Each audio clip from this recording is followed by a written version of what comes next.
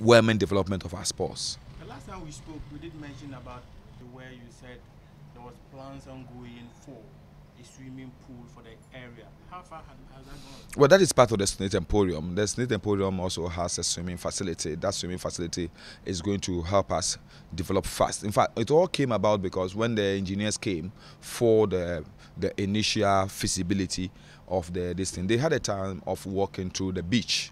The place is not far from the beach, and they saw small small boys swimming, and they thought those boys had the ability. So they thought that if we added swimming to the facility, uh, Ghana in eight years, ten years time could have people who will compete favorably with the world in swimming, and that's what informed SSNIT. And the immediately SSNIT took it on board and then added swimming facility to it. It's an Olympic-sized swimming facility, and um, it will afford us opportunity of getting our young ones to learn rightly the way to swim, so that we can compete favorably with the world.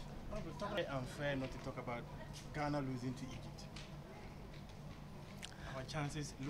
Well, let me let me say, uh, uh, this is one match we could we could have won. I think we played well. Um, look, watching the match, I think we played well. Unfortunately, we did not we did not bite enough. Um, the the we played all the good game, but we did the, our our attack, our shooting wasn't the best. Our, our goal attempts were minimal, and uh, that's the only reason. But I I take consolation the fact that there are still matches to be played. I would have wished we won this match uh, as a ministry and as a government. We did everything possible to encourage the team to win. It's unfortunate they do not win. Sometimes that's what happens in football. And um, I'm hoping the players themselves, desirous of qualifying for the World Cup, will take the next matches seriously. Um, we can beat uh, Congo DR. Uh, we can beat Egypt here. We can go to Uganda and, and win against the Ugandans. I watched their Uganda match against Congo. I don't think they are anything. When they are, they are not too much of a compact team when they are playing on attack. Um, they, when they came here, they played a strategy. I'm not sure they will play the same strategy uh, back home. They will open up, and that will afford us opportunity to to to to have an equal footing in that match. I'm very optimistic. We'll win against Uganda in Uganda. We'll beat Congo home and away, and also beat the Egyptians. It's unfortunate. The penalty, for example, was very unfortunate. I thought I thought it was a mistake that shouldn't have happened. It's unfortunate because. Uh, Harrison Afful wasn't a player who is fond of those mistakes, and it's unfortunate it happens. Every player in this world, sometimes one day or the other, makes a mistake, uh, and, and, the team suffers for it. But um, we can forgive him. He's a very wonderful player. It was never his intention to cause us, but it happened in a game. I want us not to dwell too much on the negatives and look at the, the, the games ahead. Uh, we can always come from behind and qualify at the expense of Egypt and Uganda. It's always the news, or should I say, the Black Stars has lost its national adulation, where Ghanaians hardly go to the stadium to watch them these days. How difficult will it be for the Black Stars to qualify without the support of Ghanaians? Um, that, that's exactly what I'm doing now. I'm asking all Ghanaians to put the past behind us and uh, uh, all of us um, put our spirit uh, mind and support behind the Black Stars. So we need to qualify for the World Cup and uh, we need to do the best. All of us should support the team. I was a bit disappointed when I heard some Ghanaians were jubilating when we lost. I thought that we played a good match and uh, with the return of Kwadwo Asamoah and Asamoah Gyan in the next match, I think the absence of Kwadwo Asamoah uh, is is one of the reasons why we're having a difficulty. He's a game changer. He's been magnificent in all our World Cup qualifiers, and I think that um, he coming back into the team. Uh, let's pray that uh, injury does not take away any of our regular stars, and um, we should be able to qualify the, to the World Cup. I am I'm very optimistic we'll win against Congo, and um, I'm sure we'll beat Egypt handsomely, and also beat uh, Uganda away. The atmosphere is such that after the game we lost against uh, Egypt, people are calling for the return of Sulley Muntari, Kevin Prince Boateng. Would you agree for these two gentlemen to return to the Black Stars? As a as a minister, I would say every Ghanaian, every Ghanaian uh, who has something to offer for the qualification of the Black Stars to the World Cup is welcome. Every Ghanaian everywhere who at every point in time is playing so well and need to play for the Black Stars is welcome. But I don't I don't decide which players play for the Stars. That is the work of the technical people and that is the work of the Football Association. Uh, as a minister, it would be wrong for my on my part to say this player or this player should be called to the team. And I would say that um, it is my expectation that at every point in time the best crop of Ghanaians are assembled to play for the national team. The World Cup qualifiers began under your administration. How would you feel if Ghana failed to qualify to Russia? Well, let me say, I will feel bad. I will feel bad, but um, I will also always say that um, football is not the only sport in this country.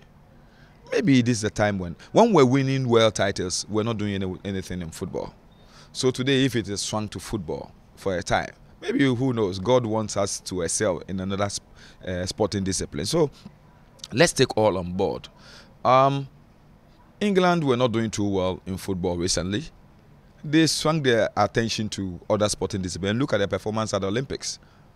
And the whole England is, is so happy with the performance of their uh, athletics team at the Olympics. So, so um, when one door is closed, another is many more are opened. So let's look at maybe let's focus our attention on other sporting. But I still I still believe that. Uh, football is all not lost.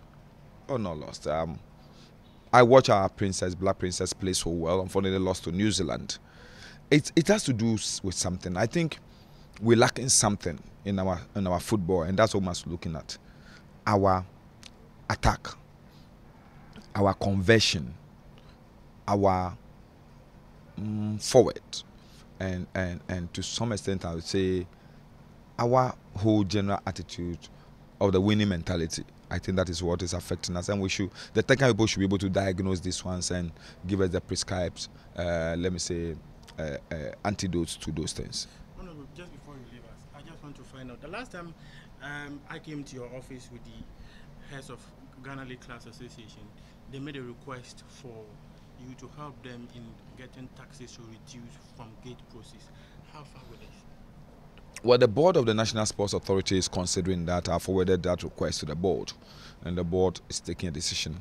And then when they have taken that decision, they will forward it to us, and then we can have a negotiation with the Ghana League Clubs Association. But on my own, and with the support of the GALCA president, uh, we've done something. We'll be able to secure an agreement with Metro Mass Transport Services, who will be offering transport services uh, at a very much discounted rate to Division One clubs so that uh, it will ease the burden on them. Uh, we're also negotiating with the state transport uh, uh, company to be able to, to also offer the same services to the Premier League clubs. And um, this, I think, will go a long way because transportation is one of the uh, difficult, uh, you know, let me say, um, points of the of, of the clubs. The amount of money they spend on transportation to and fro matches is huge. Um, look at a team like Accra Suffolk if they're supposed to go and play in maybe Bolgatanga, the distance and but then if we can get a discounted rate. I think when we, we are finished with the transport services, we possibly will even be looking at the airlines to see whether the airlines in the north, now that the WA airstrip is okay, now that the Tamale Airport is international.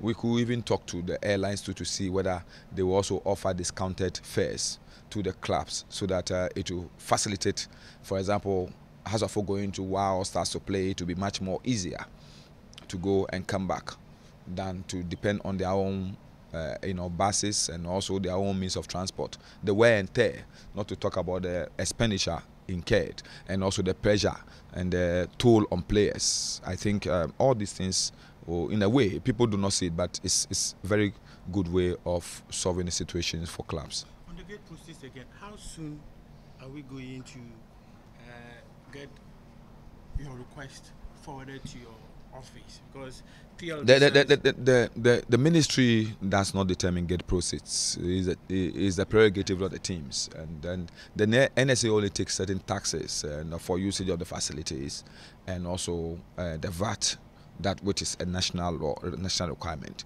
Those are the areas we want to see whether we can have some sort of negotiation. Taxes are all over, all, all, all the time negotiated, so we can look at what to do. Uh, possibly let those people understand that it's uh, their own way of also supporting the development of the game.